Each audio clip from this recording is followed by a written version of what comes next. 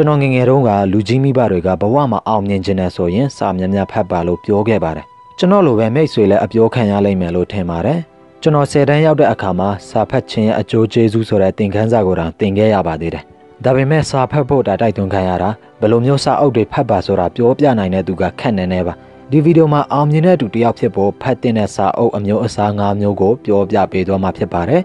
အရင်ဆုံးကျွန်တော်ရဲ့ channel ကို subscribe လုပ်ပေးဖို့ရန်တောင်းဆိုပါရခင်ဗျာ ကျွန်တော်ငငယ်ကကာတွန်းစာအုပ်တွေဖတ်ပြီးအရန်နှစ်သက်ခဲ့ပါတယ်ဒါပေမဲ့အရွယ်ရောက်လာတဲ့အခါမှာဖတ်စရာစာအုပ်အမျိုးအစားကလည်းတအားများတာကြောင့်တန်းနဲ့ချီတဲ့စာအုပ်တွေထဲမှာဘယ်လိုစာအုပ်တွေဖတ်ရမလဲဆိုတာကိုတကယ်မသိခဲ့တာပါအဲ့ဒီအချိန်တုန်းကဒီဗီဒီယိုထဲမှာကျွန်တော်ပြောပြတဲ့အရာတွေကိုကျွန်တော်ကိုပြောပြခဲ့တဲ့သူတယောက်တာရှိခဲ့ရင်ကျွန်တော်အတွေးခေါ်နဲ့အလုပ်တွေကဒီထက်ပိုပြီးအောင်မြင်နိုင်မယ်လို့ထင်ပါတယ်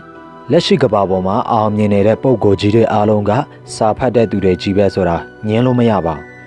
သူတို့တွေဘယ်လိုစာအုပ်တွေဖတ်တယ်လဲဆိုတာကိုကြည့်လိုက်ရအောင်နံပါတ်1လူမှုဆက်ဆံရေးနဲ့ပတ်သက်တဲ့စာအုပ်ကျွန်တော်တို့တွေအသက်ရှင်နေတဲ့ကဘာကြီးကလူသားတွေနဲ့နေစဉ်ပေါင်းတင်ဆက်ဆံနေကြရတဲ့ကဘာကြီးပါ David J. Swartz ကဘာပြောခဲ့လဲဆိုရင်ကျွန်တော်တို့အားလုံးကသိပ္ပံပညာရှင်တွေဖြစ်ပြီးတော့မှကျွန်တော်တို့အသုံးပြုတဲ့ဓာတ်ခွဲခန်းကလူသားတွေပါတဲ့ အောင်မြင်တဲ့လူတစ်ယောက်ဖြစ်ချင်တယ်ဆိုရင်တော့လူတွေရဲ့ပုံစံကိုနားလည်ပြီးတော့မှသူတို့နဲ့ဘယ်လိုပေါင်းတင်ဆက်ဆံရမလဲဆိုတာကိုမသိလို့မဖြစ်ပါဘူးကျွန်တော်တို့တွေအားလုံးကကိုယ့်ရဲ့အောင်မြင်မှုကကိုပေါင်းတဲ့မိတ်ဆွေတွေနဲ့အများကြီးသက်ဆိုင်မှုရှိတယ်ဆိုတာကိုသိကြပါတယ်ဒါပေမဲ့အောင်မြင်တဲ့သူတွေကတော့သူတို့ရဲ့အတိုင်းဝိုင်းနဲ့ကောင်းမွန်တဲ့ဆက်ဆံရေးရဖို့ရန်အတွက်စ조사တည်ဆောက်ကြပါတယ်မိတ်ဆွေအနေနဲ့စီးပွားရေးလုပ်မယ်ဆိုရင်လည်းမိမိရဲ့စားသုံးသူမိမိရဲ့ဝန်ထမ်းမိမိရဲ့ဖောက်တဲ့ အစိုးရလူကြီးစားတဲ့လူတွေနဲ့ပြောဆိုဆက်ဆံဖို့မဖြစ်မနေလို့အပ်လာပါလိမ့်မယ်အဲ့ဒီအချိန်မှာကိုကဆက်ဆံရေးကောင်းတဲ့သူတယောက်လူတွေနဲ့ပြောဆိုဆက်ဆံရမှာလိမ်မာကျွမ်းကျင်တဲ့သူတယောက်ဆိုရင်တော့ပို့ပြီးအောင်မြင်မှာအသေးချပါဒါကြောင့်အောင်မြင်ခြင်းနဲ့ဆိုရင်လူမှုဆက်ဆံရေးနဲ့ပတ်သက်တဲ့စာအုပ်တွေကိုဖတ်ပြီးလက်တွေ့ကျင့်သုံးပါ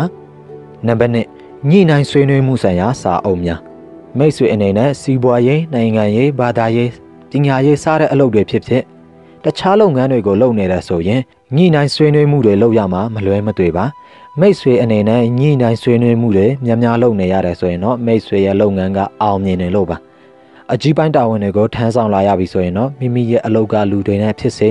အခြားအဖွဲ့အစည်းကလူတွေနဲ့ဖြစ်စေညှိနှိုင်းဆွေးနွေးမှုကိုလုပ်ရမှာပါအဲ့ဒီအချိန်မျိုးမှာမိတ်ဆွေအနေနဲ့ကောင်းမွန်တဲ့ညှိနှိုင်းဆွေးနွေးမှုကိုလုပ်နိုင်တဲ့သူတယောက်ဆိုရင်တော့မိတ်ဆွေပို့ပြီးအောင်မြင်မှာအသေးချပါ မိတ်ဆွေအနေနဲ့တစ်ချိန်ချိန်မှာထိတ်တန့်ရာထူးတွေအကြီးပိုင်းတာဝန်တွေကိုထမ်းဆောင်ဖို့ရည်ရွယ်ထားတဲ့ဆိုရင်ညှိနှိုင်းဆွေးနွေးမှုနဲ့သက်ဆိုင်တဲ့စာအုပ်တွေကိုအခုကတည်းကဖတ်ထားပါနံပါတ်3ခေါင်းဆောင်ပညာနဲ့သက်ဆိုင်တဲ့စာအုပ်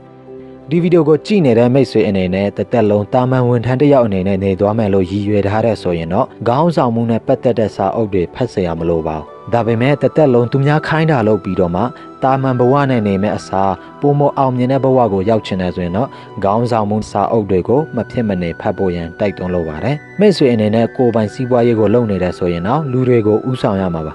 မြန်မာလွတ်လပ်ရေးကိုအရယူနိုင်ဖို့ဗိုလ်ချုပ်အောင်ဆန်းကတနိုင်ငံလုံးကိုဥဆောင်ခဲ့ပါတယ်နိုင်ငံတော်အတိုင်းပင်ခံတော်အောင်ဆန်းစုကြည်ကလည်းဒီမိုကရေစီနိုင်ငံတစ်ခုရဖို့ရန်အတွက်လူတွေကိုဥဆောင်နေတဲ့သူတစ်ယောက်ပါ ဘဝမှာပုံမအောင်မြင်တဲ့လူတစ်ယောက်ဖြစ်ချင်ရင်တော့ခေါင်းဆောင်ပညာနဲ့ပတ်သက်တဲ့အကြောင်းအရာတွေကိုမဖြစ်မနေဖတ်ရမှာပါနံပါတ်၄အထုပတိစာအုပ်များအောင်မြင်ခြင်းနဲ့ဆိုရင်တော့အောင်မြင်တဲ့သူတွေရဲ့အထုပတိတွေကိုများများဖတ်ရပါမယ် Google ကိုတည်ထွင်ခဲ့တဲ့ Larry Page က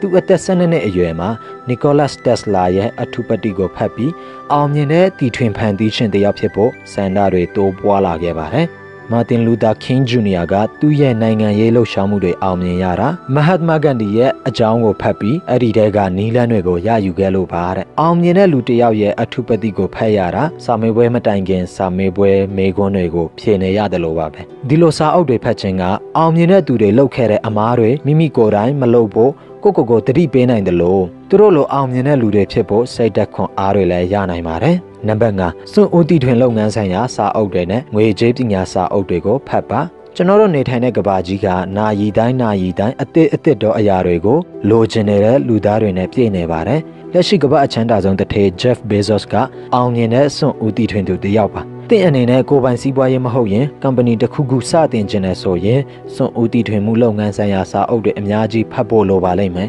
ပြီးတော့ငွေရဲ့အလုပ်လုပ်ပုံငွေကိုဘယ်လိုတိုးပွားအောင်လုပ်ရမလဲဆိုတာကိုမသိဘဲနဲ့စီးပွားတစ်ခုကိုစတင်လို့လဲအရှုံးနဲ့ပဲရင်ဆိုင်ရမှာပါ